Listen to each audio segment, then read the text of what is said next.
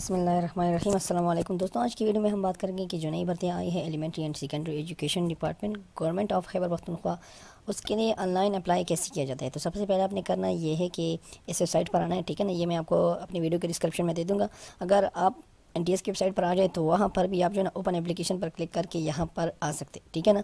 उसके लिए आपने करना यह है कि यहाँ पर अब जो न्यू भर्तियाँ आई है सिटी वगैरह के, उसके लिए भी आप यहाँ से कर सकते हैं, ठीक है ना? और जो एस एस टी की पोस्ट है, जो कि कुछ दिन पहले जो है ना अनाउंस हो गए थे, उसके लिए भी जो है ना आप यहाँ से कर सकते हैं।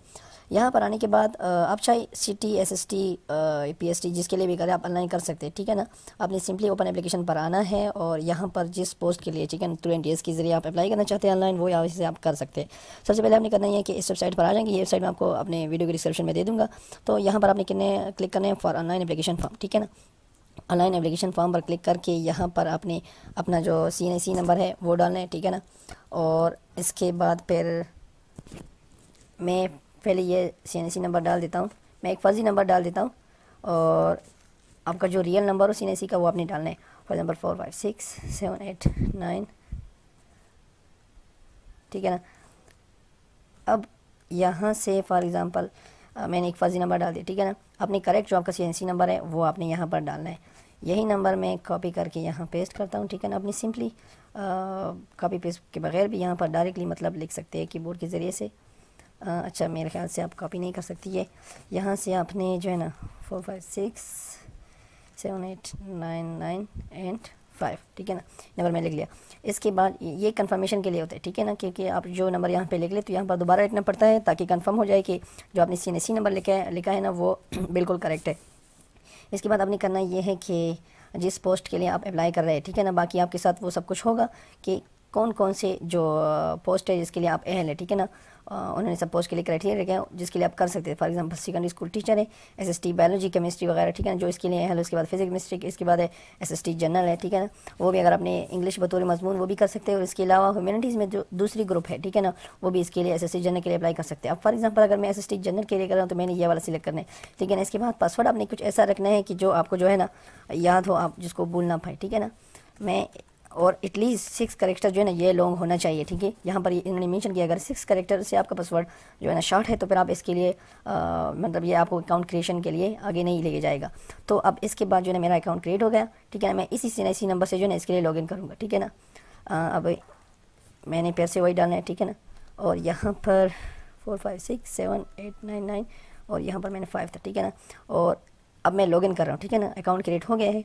इससे पहले जो मैंने स्टेप आपको दिखाया है, उसमें अकाउंट क्रिएट हो गया। अब यहाँ पर मैंने एस दोबारा जो है वो सिलेक्ट कर दिया और जो पासवर्ड मैंने रखा था, वो मुझे यहाँ पर डालना है, ठीक है ना? अब जो पासवर्ड रखे उसको बिल्कुल भी ना भूले, ठीक है ना?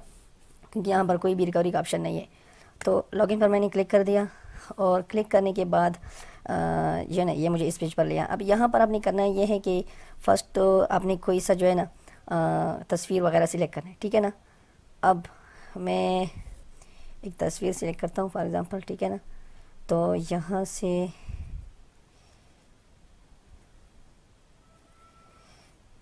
मैं कोई भी फर्जी तस्वीर सेलेक्ट कर सकता हूँ, क्योंकि आपने फिर जो है ना सही तस्वीर सिलेक्ट करनी होगी। फॉर एग्ज़ाम्पल मैंने ये तस्वीर सिलेक्ट कर दिया ठीक है ना?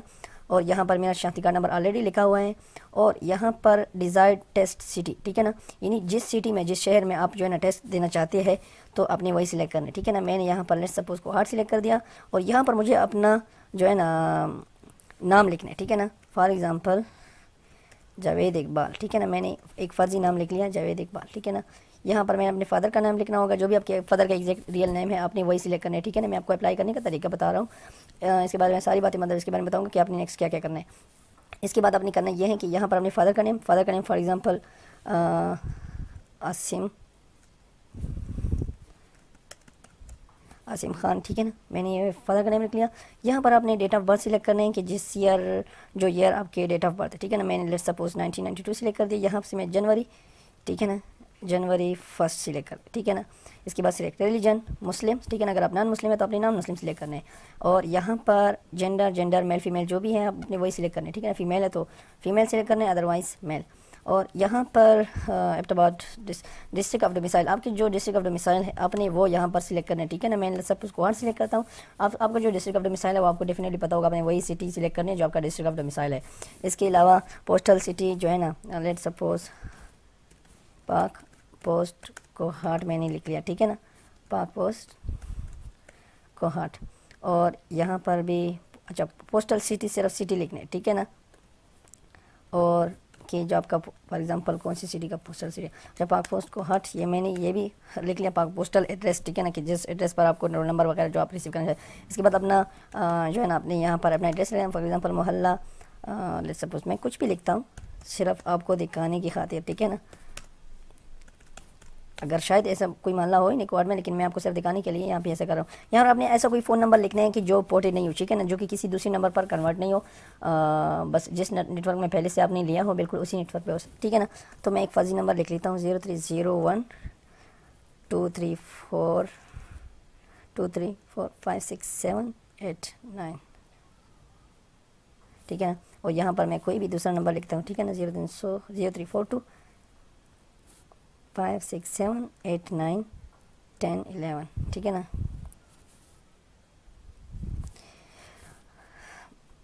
अच्छा ये मैंने फर्जी नंबर वैसे ही लिख ली, ठीक है ना? अपनी जो आपकी एग्जैक्ट नंबर है, आपका अगर आप दो सिम यूज़ करें तो आप यहाँ पर अपनी दूसरा नंबर डालें ठीक है जो वो भी पोर्टेड नहीं होना चाहिए मतलब उसका नेटवर्क चेंज नहीं होना चाहिए, ठीक है ना? और इस तरह पहले सिम का भी इसके बाद आपने करना यह है कि अगर आप यहाँ फ़ोन है कोई ऑफ़िस का फ़ोन वगैरह टेलीफोन वगैरह तो वो नंबर आप यहाँ पर लिख सकते हैं।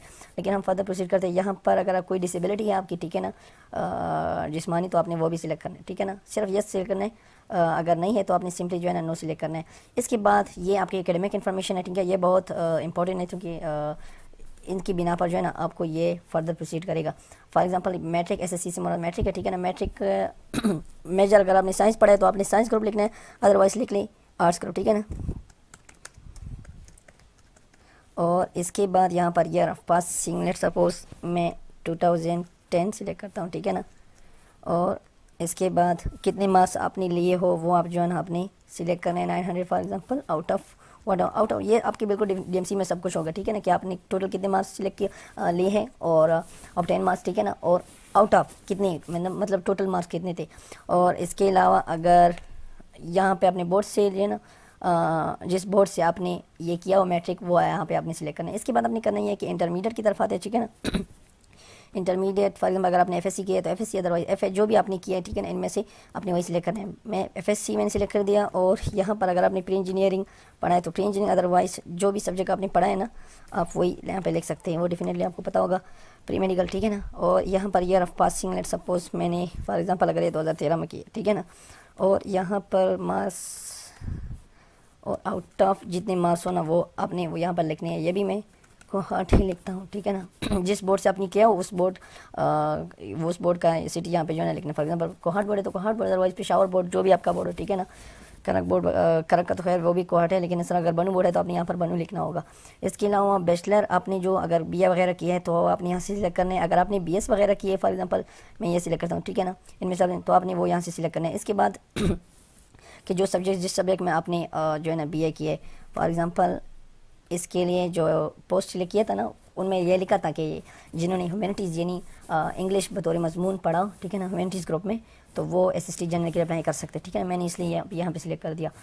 बाकी क्राइटेरिया को क्राइटेरिया का आपको डेफिनेटली पता होगा, और इसके बाद यार पासिंग फॉर एग्ज़ाम्पल मैंने लिख लिया टू ठीक है ना, और यहाँ पर अगर फॉर एग्ज़ाम्पल आप बी जो है ना ए सी जी पे पर बेस्ड है, ठीक है ना, जो जी आपने लिया है तो आपने जो है ना, वो यहाँ पर लिखना है।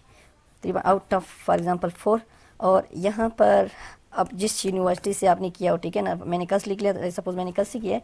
इसके बाद आपने अगर कोई जो है ना डिप्लोमा सर्टिफिकेट वगैरह एडिशनल कोई आपने हासिल किया है, ठीक है ना, जैसे कि डी वगैरह तो आप यहाँ पर मेंशन कर सकते हैं। अदरवाइज़ जो भी आपकी अगर बाकी जो एजुकेशन इन्फॉर्मेशन है एम एस एम वगैरह तो वो भी आप यहाँ से सिलेक्ट कर सकते इसके बाद अगर आपने बी एड वगैरह मेट जो भी किया, वो भी आपने यहाँ पे एड करना है। मैंने फॉर एग्जांपल कुछ भी नहीं किया तो मैंने सिंपली जो है यहाँ से सबमिट पर क्लिक करना है। सबमिट पर क्लिक करने के बाद ये मुझे नेक्स्ट पेज पर ले जाएगा और यहाँ पर जनाब, अब ये जो मैंने भी फिल कर लिया ना, सारा कुछ जो भी मैंने अब यहाँ से कर लिया तो वो सब कुछ जो है ना, यहाँ पर आ गया। अब इंपॉर्टेंट बात यह है कि यहाँ पर आपने क्लेरिफाई करना है, ठीक है ना? ये फिल करना है, ये वाला फॉर्म अपना सिग्नेचर डेट वगैरह, ठीक है ना, अपना नाम। और यहाँ पर एफ़ एक्स यूर सी से photo size colour photograph stapler ठीक है ना? ये भी आपने यहाँ पर स्टेबलर करना है। लेकिन बाकी जो फॉर्म है ना, ये ऑलरेडी फिल क्योंकि जो आपने ऑनलाइन फॉर्म फिल कर दिया, वो सारी इन्फॉर्मेशन इसमें आ गई है। इसकी बात अपनी करना ये है कि अगर आपके पास प्रिंटर है तो इस प्रिंट फ़ाइल को जारी जो है ना प्रिंट करें। अगर आपके पास प्रिंटर नहीं है, किसी आपको बाज़ार जाना पड़ेगा, इस फॉर्म को प्रिंट करने के लिए तो आपने सिंपली कंट्रोल पर स्पी दबाकर जो है ना, अपने इसको पीडीएफ में सेव करना है, ठीक है ना? Let suppose save as PDF ठीक है ना?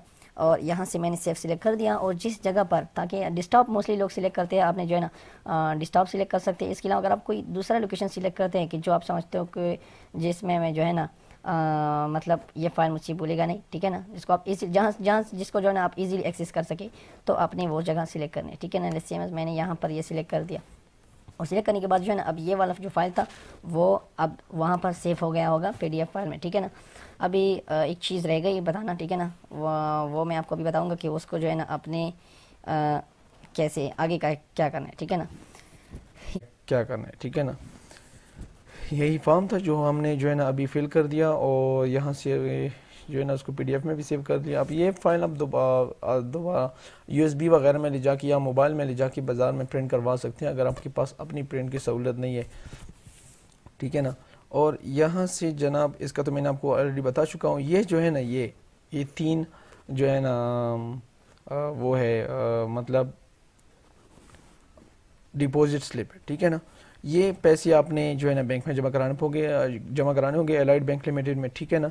आपने करना है कि candidate copy and copy and bank copy bank वाले आपसे पैसे जमा कर देंगे, ठीक है ना? वो टोटल इसकी टू नाइन्टी रुपीज़ है। टू नाइन्टी रुपीज़ है।